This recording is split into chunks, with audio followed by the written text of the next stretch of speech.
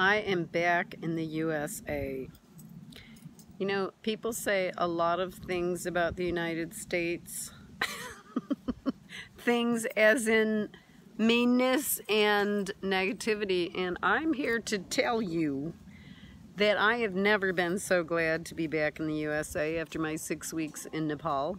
Um, doing a, in the middle of a debacle that many of you know about. Um, I'm going to tell you some things I appreciate about the United States right now. Cleanliness, rather than having everything covered with a layer of filth, uh, like I was treated to for six weeks. Um, things are clean here. There's standards of non-pollution.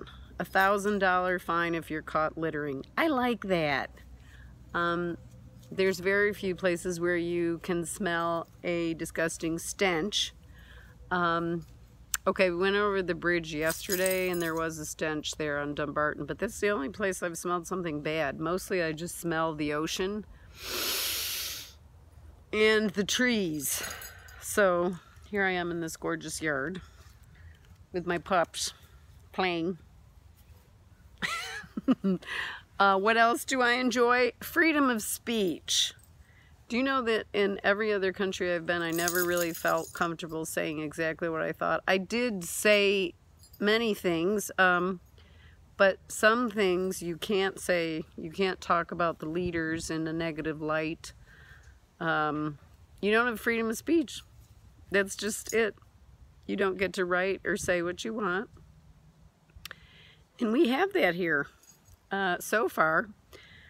And uh, so those two things are really big. Um, and I appreciate it in a new way. Cleanliness, I really appreciate because my voice got affected. Um, uh, the pollution actually did shut my vocal cords down. Besides some anger of uh, raising my voice firmly, which was of course called for. Um, to get things done. So I just wanted to say, appreciate, I'm looking at my life in a new way now. I'm appreciating it in a completely different mode. Like, we don't have much time. Look at those two.